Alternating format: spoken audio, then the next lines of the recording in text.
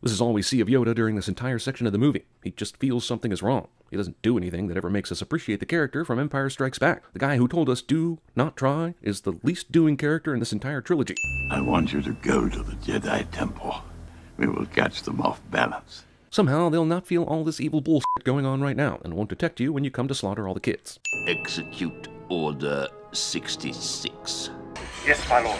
Commander Cody doesn't stop for even one second to ask why the Emperor looks more like a potato than he does the Emperor. Also, if you remember, Cody, 66 is the order the Senate defines as wiping out the Jedi like little bitches. What planet is this? What Jedi is this? You don't care. I don't care. I don't even think Lucas cares, as long as it looks pretty. Tim Burton designed this alien planet, but asked to be uncredited after he saw a rough first cut. Oh no, not that Jedi. I grew to love her so much. Oh, you. I can't believe these movies actually made me hate Yoda so much. There are CG animators out there who got tired of all the ways they had to draw Yoda feeling bad about something. Dumbass Jedi does not eject. Look, I know we're going for a killing the Jedi montage here, but you are the ones who set them up to be superhero gods. So when you go to slaughter them, maybe make some of them a fraction better than regular humans in these situations, eh? Jesus, this movie does more to tear down the lore of how powerful Jedi are than it does anything else. CGI is fun, whee! They took forever to kill him, and now I'm supposed to have a boner because Yoda killed two guys. As long as you throw the Emperor down a shaft later, all these kids' deaths will be forgiven. Very fing tragic misuse of Natalie Portman. Wait, a second ago they were letting this asshole leave. Then some Jedi Tommy Tomasino jumps in and starts killing troopers, and then they're trying to kill this guy? The fuck? If I had told you at the outset that two of the three prequel movies would contain scenes of Obi-Wan swimming underwater, would you have believed me? Because I don't think you would have. Goodbye, Chewbacca. Oh, so that really was Chewbacca. How did this guy get caught up with Han Solo then? Goes from a war hero on this planet to helping some asshole smuggle stuff across the galaxy. That's some coming home right there. Did you find Kenobi? Sir, no one could have survived that fall. In real life, almost everyone thinks there's at least a small chance someone could survive a fall like that. In the movies, all the bad guys are 100% sure no one can survive a fall like that. I heard there was an attack on the Jedi Temple. You can see the smoke from here. Um, yeah, that Jedi Temple getting attacked scene was intense. I heard a lot of harrowing dialogue about it. I feel so helpless.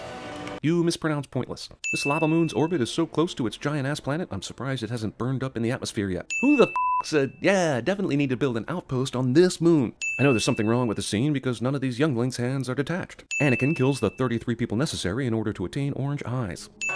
So this is how liberty dies. With thunderous applause. Sorry, something really stupid stuck in my throat there. Carry on.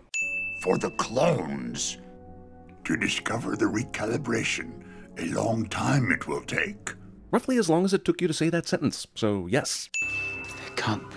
Another failure here. So much of the reason why Obi-Wan can't believe Anakin did this is because of all the adventures they've had off-screen together that they've merely alluded to a couple of times. Meanwhile, all we've seen of Anakin is a whiny, quick-to-anger little bastard. The emotion of this scene is lost. Have that will, my new apprentice. Good of the Emperor to say this in perfect view of the security recordings. Use your feelings, Obi-Wan, and find him you will. Since when do a Jedi's feelings work in these movies? Why doesn't Obi-Wan just play the incriminating security video of Anakin killing children for her? Anakin is the father, isn't he? Ask that again. I was distracted by all the bullshit in the background. Anakin is the father, isn't he? You seriously didn't know that already? God damn, can Jedi sense or fucking not? Obi-Wan leaves Padme, walks toward his ship, and the next time we see them, they're about to fly to the lava planet.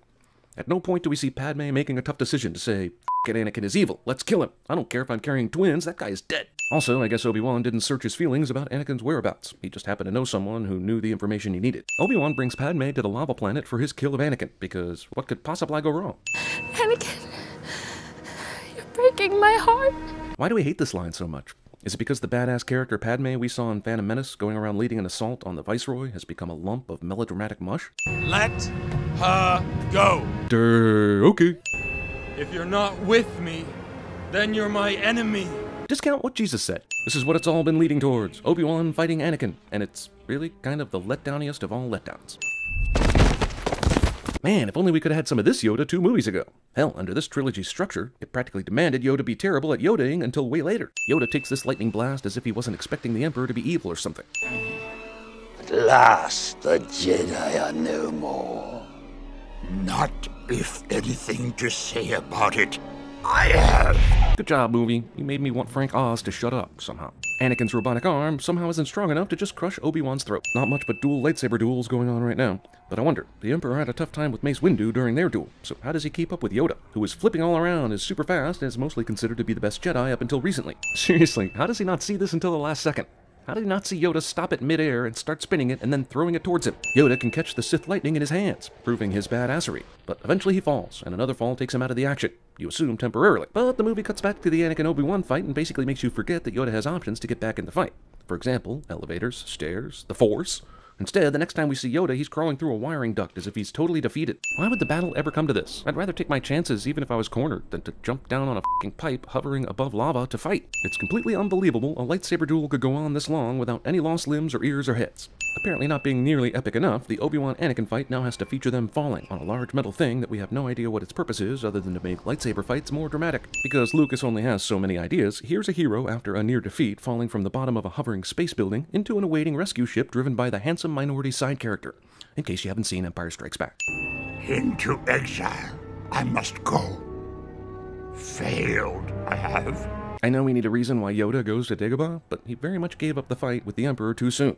All the cool stuff Yoda did in the past 10 minutes, forget about it. How fortunate is it that this tower stays upright while floating down a river of lava it's being consumed? Oh, it. My lack of interest should be beyond obvious by now. Just tell me when it's over. This is supposed to be epic, but it feels like a guy who just learned After Effects creating his own fan fiction and sharing it on YouTube, which was founded the very year this movie came out. Coincidence? Wait, aren't they powering their pieces of metal junk to fly over this lava pit?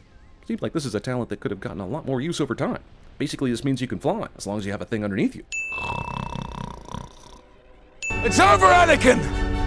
I have the high ground! Yep, movie about superhero Jedi freaks that can leap small buildings will now somehow be decided by a couple of feet above sea level, because Sun Tzu! I have the high ground! So did Darth Maul, and you saw how that turned out. Also, even if high ground mattered, why would Anakin need to give up in this instance? Can he simply drive back to where all this started, or find another spot to dismount? It was said that you would destroy the Sith, not join them! You're still on about that. Stupidly, Obi-Wan takes pity on his former student and walks away before confirming his death. Terminator Genisys. Medically, she's completely healthy. Are there really no human doctors left in this world? Everyone here gets treated by a Big Hero 6 dressed in Johnny 5 clothing.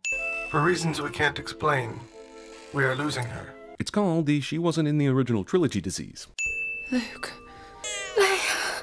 Padme names her kids as they exit her womb, which is simply unnatural. It's like Lucas said, no one will know who these kids are. Better have Padme name them as soon as they pop out. Ah, I see Padme went to the Close Your Eyes and Tilt Your Head school of movie deaths. It seems in your anger, you killed her. Darth Vader believes this. Also, wow, lying liars and the lies they tell. Isn't he already Darth Vader? Does he really still need manipulating? No! Yes? I mean, no. We must take them somewhere where the Sith will not sense their presence. We'll take Luke to somewhere like, I don't know, Anakin's old home planet. Why the hell not? And what of the boy? To Tatooine. To his family send him. It's almost like they forgot the guideline they set just 20 seconds earlier. I will take the child and watch over him. Kinda. Also, he and I will keep our same last names because f that pseudonym bullshit. Qui-Gon? How to commune with him, I will teach you. I'll also teach you about forgetting him, too. Have the protocol droid's mind wiped.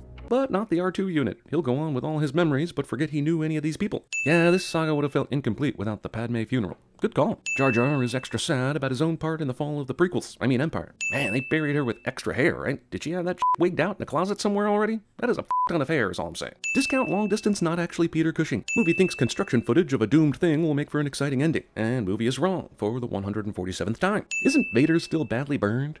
Did they ever give him anything for that? That's gonna get infected. Touching Alderaan baby delivering scene is undercut by the future knowledge that all these people on this planet gonna die. Here, have a baby. Also, Jedi storks. Also, Owen and Beru age like 40 years while Luke ages 20 the next time we see them. Movie prequel trilogy thinks it's tied off all the loose ends, despite ending roughly 20 years from the start of the original trilogy. What about Luke's puberty? What about Leia's struggle with why her parents' castle has a ballroom but never has any balls? Also, are we supposed to believe that Luke got his double sun gazing habit from his aunt and uncle while he was two weeks old? Such poetry.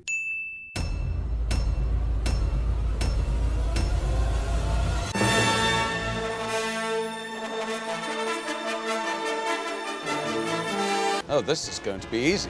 Flying is for droids. Oh dear. Oh, I have a bad feeling about this. Always on the move. Sith Lords are our speciality. Did I miss something? How did this happen? We're smarter than this.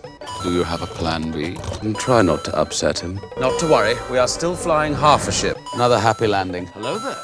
So uncivilized. I have the high ground!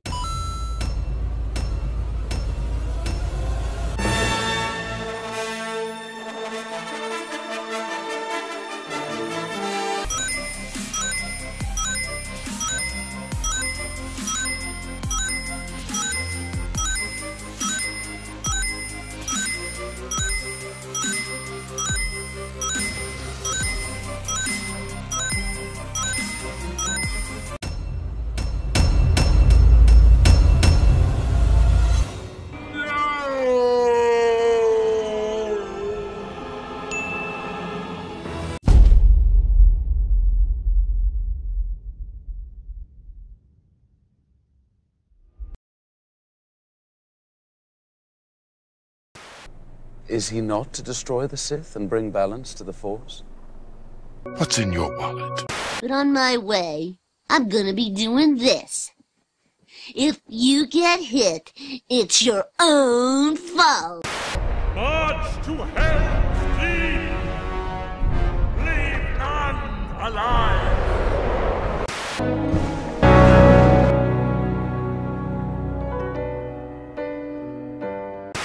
Anakin, all I want is your love. All you need is love. My name is Inigo Montoya. You killed my father. Prepare to die. Gentlemen, we can rebuild him. We have the technology. There's a man out there. What do they call him during the war? You know, the, the pilots? Gremlins.